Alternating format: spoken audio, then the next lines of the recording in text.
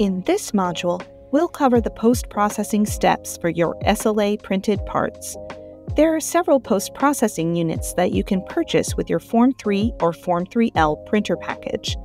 These include a finish kit or Form Wash or Wash L unit for washing parts in solvent, and a Form Cure or Cure L unit for a post cure step with light and heat. Once a part is finished, it will be covered in a layer of liquid resin that you will need to remove. You do this step by soaking your part in solvent via the finish kit or Form Wash or Wash L unit. Let's look at the parts of the Form 3 finish kit. Starting with the unit itself, a finishing tray provides you with a surface to perform post processing. Simply lift the tray off the top of the unit and place it in front of you. There are two wash buckets for holding solvent, as well as an agitator basket to hold parts for manual agitation.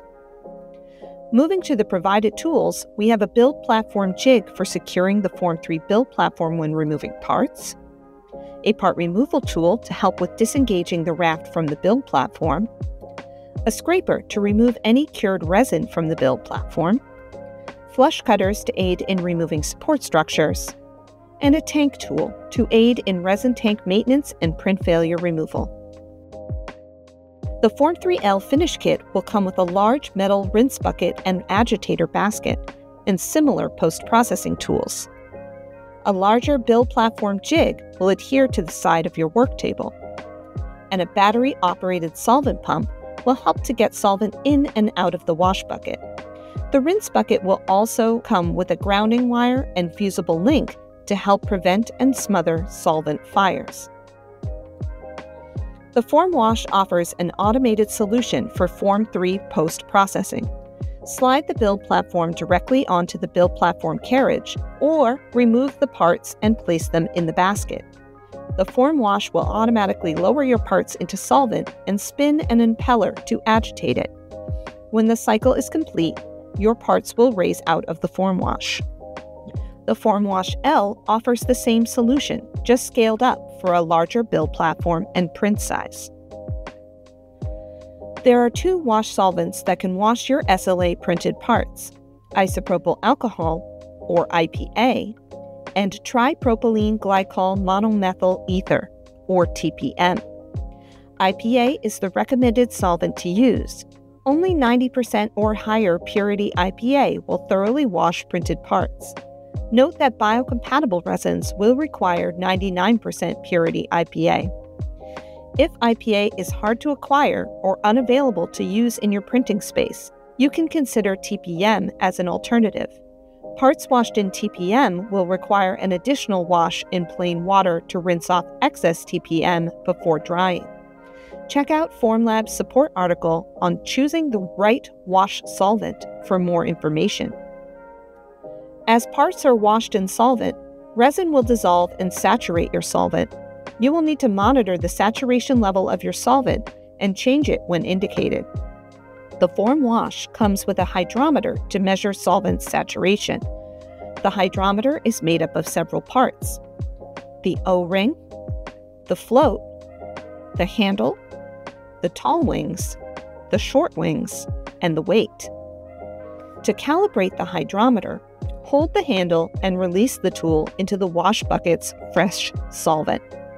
Slide the O-ring along the ribbed stem until the O-ring aligns with the short wings at the top of the float. Leave the O-ring in this position. The alignment of the wings and the O-ring is used to check the resin concentration of solvent between washes. Store the hydrometer in the tool storage area at the back of your form wash unit. As the saturation of your solvent increases, the weight will rise closer to the surface of the solvent raising the O-ring higher. Once the O-ring is above the large wings, it is time to change your IPA. Always recalibrate your hydrometer every time you change to fresh IPA. The Form Wash L comes with a built-in solvent saturation monitor. The saturation of your solvent will show on the touchscreen. Once the saturation level is over 10 to 12%, it's time to change your IPA. After washing, parts should be left to thoroughly dry before moving on to post curing. You can leave parts on the build platform to dry or remove them in the following steps. Parts can be removed using the part removal tool, the scraper, the flush cutters, or a combination of tools. Use the build platform jig to hold your build platform steady, and always point and push sharp tools away from your body. Having the build platform 2 or 2L will allow you to easily pop off your parts onto your workspace. Once the parts are dry and removed from the build platform, you will post cure them using light and heat in the Form Cure or Form Cure L unit. Always place your parts in the cure first, then select a cycle based on your resin type. The parts will heat up with the cure to the desired temperature.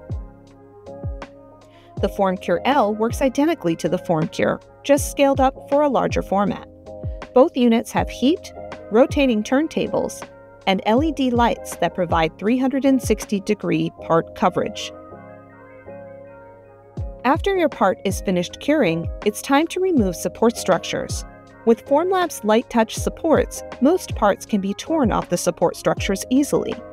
You can also use the flush cutters to clip the support structures from the part.